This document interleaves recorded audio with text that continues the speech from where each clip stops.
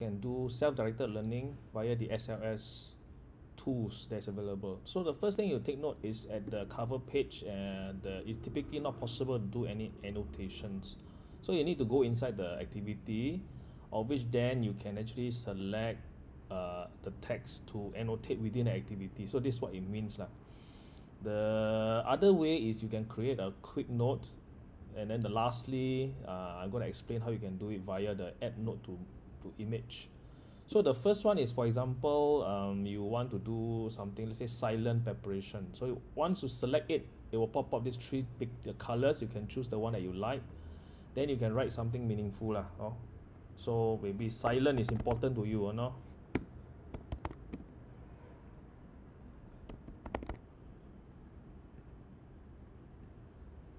then you can save the note and then you can see that it's, it's available here via the the hide drawer uh, and the show drawer. So if you want to delete it uh, you want to add more comments you can just add more comment via this add button then you can add more. You know then you can you can add more notes to it lah. Oh, and if you want to delete it it's always via this three dot then you can edit it or delete it. So I'm not going to do it because it's probably too simple a feature that uh, I think you, you can follow easily so this is the first uh, capability of SLS to support self-directed learning annotate text within activity. The second is to add uh, via the create note. So I'm going to create a note. Something important for the entire uh, activity uh, activity here. So something so I create a note. So the notes will always appear uh, at the top.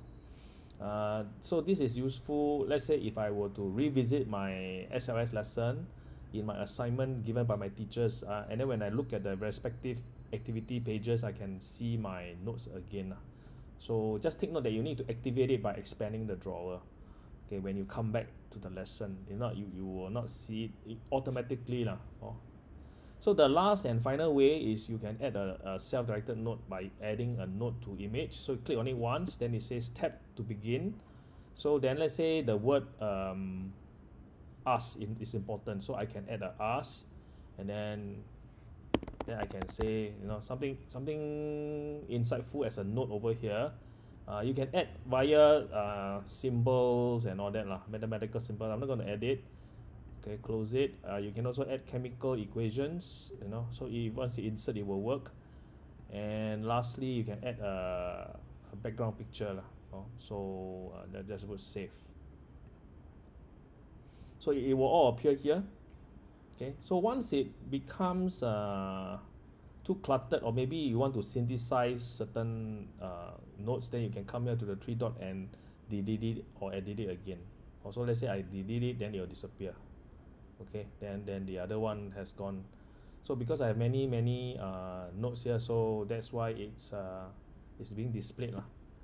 Oh so very quickly this is how you can do it uh, SDL in SL in SLS